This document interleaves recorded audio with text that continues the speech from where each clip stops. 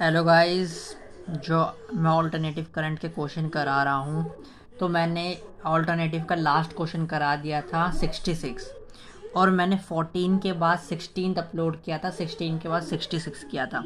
ऐसे मैंने 15th भी वीडियो बना दी थी।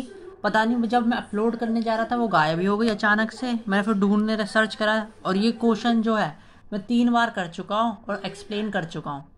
तो प्लीज़ अगर आप मेरी मेहनत को अप्रिशिएट करना चाहते हैं तो प्लीज़ सब्सक्राइब कर दीजिए। एक बटन दबाने से तो कोई प्रॉब्लम नहीं होगी। चलो क्वेश्चन स्टार्ट करते हैं। तो क्वेश्चन क्या कह रहा है आपको? क्वेश्चन आपको कह रहा है क्वेश्चन आपको कहता है find the frequency of a capacitance reactance of one capacitance का रिएक्टेंस दे रखा है। One into ten raise to minus six farads equal to the inductance reactance जो इंडक्टेंस का रिएक्टेंस है, उसके बराबर है। तो फ्रीक्वेंसी ये रेजोनेंट फ्रीक्वेंसी हो गई। तो रेजोनेंट फ्रीक्वेंसी का फॉर्मूला होता है one upon two pi under root L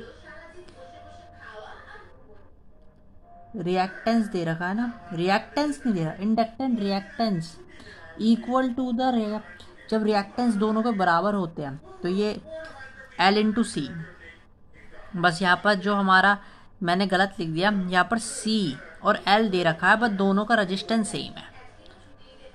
तो फॉर्मूला ही होता है। सॉरी फॉर दैट बहुत बार कराने के चक्कर में हमने गलती कर दी है। तो two into three point one four बहुत इजी क्वेश्चन है, बस मैं मैंने सोचा कि ये भी करा ही देता हूँ, फिर कहोगे, आप सारे क्वेश्चन नहीं कराते। तो one into ten raise to minus five ठीक है? अब इसे सॉल्व करेंगे तो क्या आएगा? Ten raise to minus three into two into three point one four one divide by one divide by तो आगे आपका answer frequency frequency is equal to 159.24 hertz